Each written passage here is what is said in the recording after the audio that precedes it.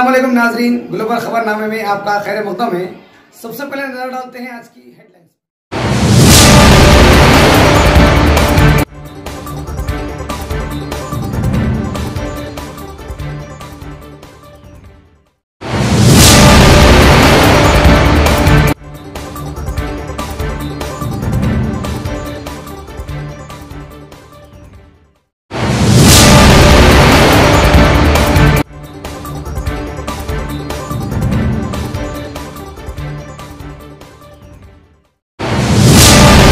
नाजरीन, अब नज़र डालते हैं तफसील मौजूदा दौर में रियासत तेलंगाना में हो रही मुसलमानों के हकूक़ की पामाली के पेश नज़र, रियासती सतह पर एक कमेटी मुस्लिम डिक्लेरेशन फार्म जे पिछले दो साल से मुसलसिल जदोजहद कर रही है।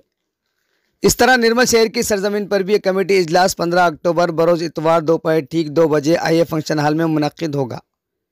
इसके एक हिस्से के तौर पर निर्मल शहर के स्कूली तलबा, इंटर डिग्री कॉलेज सतह के तलबा में एक तहरीर मुकाबला बानवान मौजूदा दौर में मुसलमानों के हकूक़ मनद किया गया, जिसमें 200 से ज़ायद तलबा ने शिरकत की।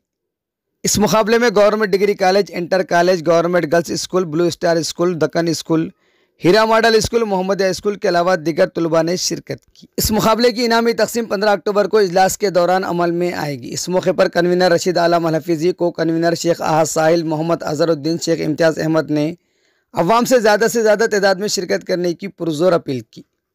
इस इम्तहान के दौरान सीनियर जर्नलिस्ट अमीन पटेल तैयब बिन सलाह मुदरस अली पाशा खादरी, मलिक खान सैद अबरार के अलावा क्राउन प्लाजा फ़ंक्शन हाल मालिक, मोहम्मद मुनिरुद्दीन के अलावा दिगर मौजूद थे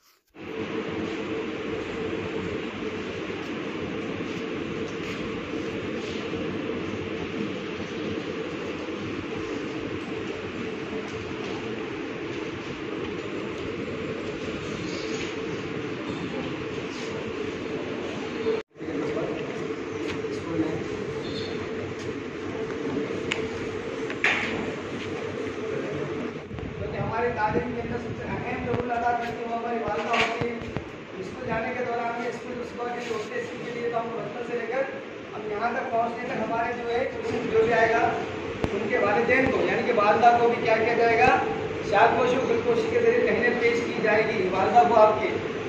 तो वो उनको भी अपने बच्चों की कामयाबी पर फख्र महसूस होना चाहिए। तो इसीलिए आपकी वालदा मोहतरमा को भी साथ में लेकर आइए आप बहन वगैरह को, बड़े बहन जो है, उनको भी आप रिलेटिव भी उनको भी बोलिए। क्योंकि हमारी जितनी ज़्यादा मेजोरिटी होंगी वो सामने वालों के लिए क्या होगा? कश्मकश का शिकार पैदा होगा उनके अंदर। कश्मकश पैदा होगा उनके अंदर। क्योंकि अगर हमारे हमारे इतिहास के अंदर इतने लोग सरों का समंदर रहेगा तो वो देखकर क्या करेंगे? अरे इनकी कौम भी जाग गई है। इनकी कौम जाग चुकी है। अगर इनके हुकूक को दबाया जाए तो ये हमारी हुकूमतों को तख्ता पलट सकते हैं। वो सोचेंगे, अगर इनके पास हमारे सरों का समंदर नहीं रहेगा और गिने चुने कुछ लोग रहेंगे तो क्या बोलेंगे? इनके कौम सोए वाली है इनको सुलाते रही हमेशा। एक मुझे मिसाल याद आ गई कि एक ज़माना था मौलाना अबुल कलाम आज़ाद के ज़माने की बात है एक शख्स को किसी काम की ज़रूरत पड़ गई competition we conducted yesterday successfully. Uh, why? Because uh, 10th class students, uh, you are writing S7 exam. You not have time. That is why we planned today. Okay. Once again, behalf of uh, Muslim Declaration Nirmal JSC, I I would thank to all uh, uh, students as well as the teachers. Okay. On 15th October, you remember this once again. On 15th October, with your uh, family members. You informed your brothers, sisters, and your colleagues and your parents also.